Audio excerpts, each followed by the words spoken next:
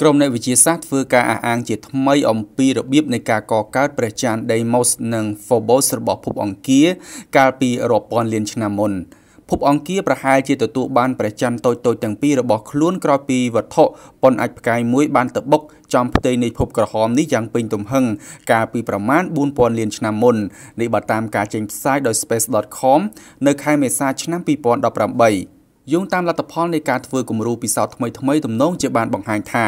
វត្ថុអវកាសមួយអាចមានទំហំប្រហាក់ប្រហែលនឹងវត្ថុដែលធំបំផុតនៅក្នុងតំបន់ខ្សែក្រវ៉ាត់អាចផ្កាយ Asteroid Belt ប្រហែលជាបានទៅទង្គិចនឹងផ្ទៃរបស់ភពអង្គាររហូតដល់ថ្នាក់ធ្វើឲ្យរូបធាតុនានានៅលើភពនេះខ្ទាតខ្ចាត់ខ្ចាយទៅក្នុងលំហអាកាសល្មមគ្រប់គ្រាន់ដើម្បីបង្កើតចេញជាព្រះច័ន្ទទាំងពីររបស់ភពអង្គារគឺព្រះច័ន្ទ Phobos និង Deimos ដែលមានរូបរាងដូចជាអាចផ្កាយមិនមូលនោះទេ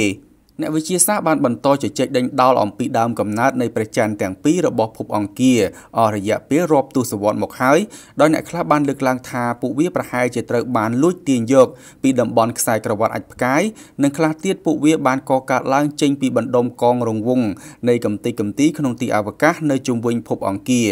យ៉ាងណាមិញដោយសារតែជាក់ស្ដែងព្រះច័ន្ទទាំងពីរនេះមានកន្លងធ្វើដំណើរស្ទើរតែជារង្វង់ស្មើយ៉ាងល្អនោះនៅជុំវិញបន្ទាត់អេក្វាទ័ររបស់ភពអង្គារការលើកឡើងថាពួកវាបានចាប់កំណើតឡើងដោយបាតុភូតប៉ះទង្គិចគ្នាគឺមានលទ្ធភាពខ្ពស់បំផុត។ព្រះច័ន្ទដែលកកើតឡើងដោយកំទេចកំទីអវកាសក្រោយការប៉ះទង្គិចគ្នានោះគឺពុំមែនជារឿងថ្មីនោះឡើយតួយ៉ាងព្រះច័ន្ទរបស់ភពផែនដីយើងនេះក៏ត្រូវបានគេជឿជាក់ថាបានកើតឡើងបន្ទាប់ពីវត្ថុអវកាសមួយទំហំប៉ុនភពអង្គារបានបុកចំផ្ទៃភពរបស់យើងកាលពី4.5ពាន់លានឆ្នាំមុន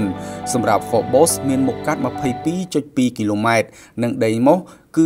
12.6គីឡូម៉ែត្របច្ចុប្បន្នព្រះច័ន្ទ Phobos កំពុងរំកិលចូលទៅគៀកនឹងភពអង្គារហើយអាចនឹងបុកជាមួយផ្ទៃភពនេះនៅក្នុងរយៈពេល50លានឆ្នាំទៀតខណៈព្រះច័ន្ទ Deimos នឹងរួចផុតពីករណីនេះដោយសារតែវាកំពុងរំកិលខ្លួនយ៉ាងសន្សឹមសន្សឹមឃ្លាតឆ្ងាយពីភពអង្គារទោះបីជាបែបនេះក្តី50លានឆ្នាំពិតជាយូរណាស់ប៉ុន្តែមនុស្សនឹងរកវិធីទប់ស្កាត់រឿងនេះមុននឹងវាត្រូវកើតឡើងនោះប្រសិនបើភពអង្គារគឺជាជំរករបស់មនុស្សនាពេលអនាគត។ គួរបញ្ជាក់ផងដែរថានៅឆ្នាំ2024ខាងមុខនេះទីភ្នាក់ងាររករកទីអវកាសជប៉ុនដែលហៅកាត់ថា SHASHA គ្រោងនឹងបញ្ជូនយានអវកាស MMX ទៅកាន់ព្រះច័ន្ទទាំងពីររបស់ភពអង្គារហើយយាន MMX នឹងធ្វើការចុះចតនៅលើផ្ទៃរបស់ព្រះច័ន្ទ Phobos និងប្រមូលយកគំរូតាំងនានានៅលើនោះហើយវិលត្រឡប់មកកាន់ផែនដីវិញនៅឆ្នាំ2029គោលដៅចម្បងរបស់បេសកកម្មនេះគឺដើម្បីកំណត់រកដើមកំណើតឲ្យពិតប្រាកដនៃព្រះច័ន្ទ Phobos និង Deimos ។